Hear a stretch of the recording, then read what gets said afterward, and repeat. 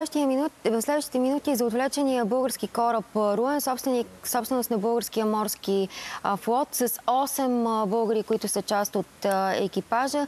Знаете за това отвличане, вероятно дело на пирати, вероятно повече от сигурно всъщност ще искат пари, за да бъде освободен. До момента няма информация за а, искан откуп. Не знам и в такива случаи, случаи дали стават а, публично а, достъпни а, детайлите, но въпросът е какво следва сега и затова ще говорим с капитан Иван Цонев от Българската асоциация на морските капитани. Добро утро, господин Здравейте, Цонев. добро утро. Питахме се, може ли този кораб да бъде освободен и се питахме, без да се плаща от, откуп имам предвид, и се питахме, защото отчетохме информации за индийски военен кораб, който е в района, за това, че се чака испанска фрегата. Въпросът е, те могат ли да се и още намесят? Един, трети. И може би да, и още един трети. Могат ли да се намесят или такива операции се смятат за твърде рискови за живота и здравето на, на екипажа на борда? Добро утро на вас в студиото и на вашите зрители. Първото, във вашия анонс много правилно казахте, че информацията все още е много а, така оскъдна. Дори а, дали наистина става дума за пирати или поредната а, акция на хутите от а, Ансар Аллах, не е много сигурно. Най-вероятно става дума за пирати. А, освобождаване, нали, във връзка с вашия въпрос, освобождаване с сила от а, тези а, военноморски единици, които напредват. Даже последната информация, която четах вчера е, че индийския боен кораб е локализирал вече а, да. Руен. А, сега има такъв прецедент в историята. Това е а, кораба Мерск Алабама.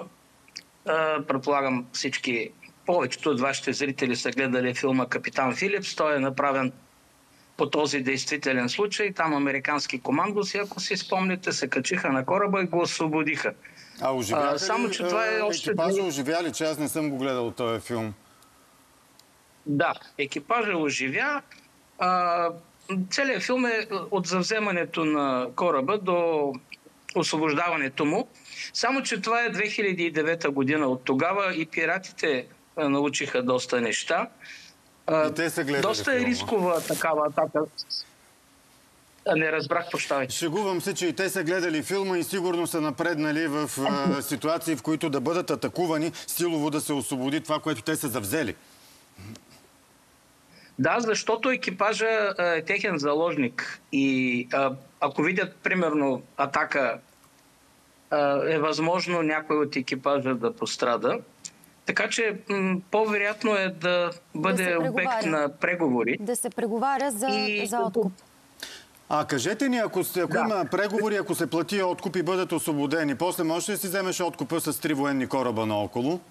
Има ли пък такъв тип а, преговори, които завършват а, по този начин? Освобождават се а, заложниците, плаща се откуп, а след това си освобождаваш и откупа.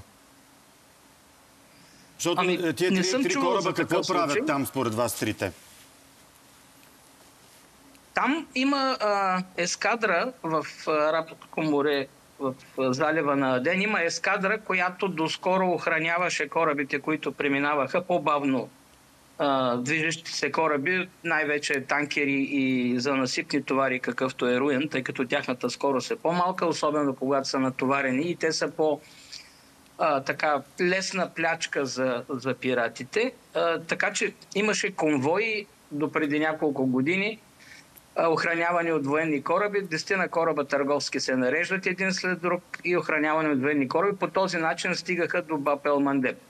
Дали Само, това не че... трябва да се направи и сега? Защото очевидно зачастяват тези пиратски набези. Онова успокоение от последните години е вече назад в а, миналото.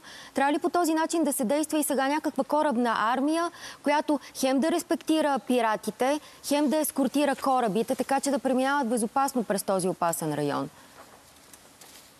Според мен а, разрешението на въпроса с пиратите е само чрез сила или да се възстановят тези е, екскорти, които се правеха, или с въоръжени е, гардове е, на въоръжена охрана на всеки кораб. Е, това с гардовете се прави И аз, доколкото знам, параходство Български морски флот също наема гардове. Просто в случая с Руен атаката е много силно изнесена на изток, много далеч преди гардовете да се качат на борда. Тъй като тази организация, британска организация за морска търговия, която регулираше там нещата в Денския залив, първо намали границите на опасния район, а след това въобще обяви, че вече няма такава опасност. Когато аз преди години съм минавал, преди десетина години, когато съм минавал от там с гардове, ние ги вземахме още от Шри-Ланка. Тоест, тук според вас е имало идея да, да, да се вземат гардове. Предвидени са били, но не и в този участък. По-късно е трябвало да ги вземат, така ли? Така, така, така предполагам. Отново се връщаме в началото на нашия разговор, че информацията е много оскъдна. Да. И капитан Калчев, изпълнителният директор, каза, че ще дава писмена информация тогава, когато има такава. Кой преговаря а, така, в такава това... ситуация? Държавата трябва ли да преговаря или не трябва да се а, намесва? Каква е практиката? По принцип, а, би трябвало и държавата да се намеси, но, но за тези преговори няма да има никаква информация, докато те не приключат, защото а, материята е доста чувствителна и изнасяне на предварителна информация може да доведе до а, прекратяване на тези може преговори да навреди. за откуп. Добре, ако има такива преговори за откуп, а, пак с нали, условността, че нямаме много информация, Обикновено колко траят такива преговори? Знам, че е трудно да се каже, но питам заради семействата, които, които си чакат близките. Живи и здрави. Бързо ли се решават такива казуси? Която... Ми, някъде, може би, около месец поне, защото първо трябва да се влезе да се види с кого да се намери, с кого да се влезе във връзка. Вие знаете много добре, че в Сомалия няма държавност. Това са отделни такива групировки, които действат по този начин. Така че трябва да, да се намери а, такава посредническа м, компания, която вече е водила такива преговори, а, да се знае кого да се потърси и оттам нататък. Обикновено се намалява цената, която искат пиратите. Да, искат повече, получават по-малко. Да. Има ли случай да не се плати и да се посегне на екипажа? Не. Няма. В Сомалия такъв случай няма. По-опасно за екипажа е от другата страна на Африка, в водите на Нигерия, в Гвинейския залив, тъй като тук пиратите действат внимателно и аз мисля, че няма никаква опасност за екипажа, защото за тях екипажа е стока. Добре, Тоест, и последно... Размен на монета. Да, да, това пази живота им. Последно за Galaxy Leader дали има някакви новини и вие оптимист ли сте за скорошна развръзка там? Там случая не е за, а, за откуп.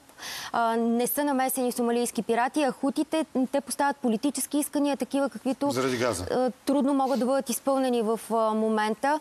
А, можем ли да бъдем оптимисти, че там задържаните наши сънародници скоро ще бъдат освободени според вас? Да, наистина права сте, че там нещата стоят по съвсем различен начин. Даже аз бих казал по... Е, вие казахте много трудно изпълними исканията на хутите. Според мен са неизпълними на момента. А, доколкото на мен ми е известно, водят се а, разговори. Международната морска общност също а, има вече и от страна на Международната а, камера морска, Международната морска камера от страна на Международната федерация на капитанските организации а, има действия за оказване на, м- на натиск, натиск върху, да. върху политиците за цяло вземане на политическо решение. Ще бъде трудно, но, но при всички случаи ще има положителен ефект, защото тези хути нямат никакъв интерес да навредят на екипажа. Даже тези кадри, които излъчиха след задържането на кораба, беше, че са им дали възможност да, да разговарят с а, семействата си, не само нашите двама българи, а въобще екипажа. Да. А, даже този военен министр излезе с едно изказване, като се качи на кораба, че те ще бъдат техни гости и ще да, ги третират по законите на шарията, което вече Да, коментирахме го това и по-рано. Кажете според вас, аз се връщам пак към първия кораб. Какъв е откупа, който се иска обикновено? Някъде до- по мои данни. на- Значи тези, тази информация също никой не я съобщава. Знам, но дори нали, след да успешното завършване на след това. преговорите. Да, ами те тръгват от 10 на милиона някъде и обикновено се стига до 2-3 милиона, зависи от кораба и от товара му. От 10 да се свали до най-високо- 2-3 е успех. Мисля, че е голям успех. Да. До сега Друг е въпросът как се отразяват. Добре, Да. Благодаря. Да, слушам. До сега дали е имало такъв случай за български кораб да е плащан откуп? Знаете ли? За български кораб не, плащане откуп за кораби, на които е имало български, българи от екипажа. Наши Добре, сънародници. благодарим ви много за коментара. Капитан Иван Цонев от Асоциацията на морските капитани към другите теми в предаването. Продължаваме след рекламата.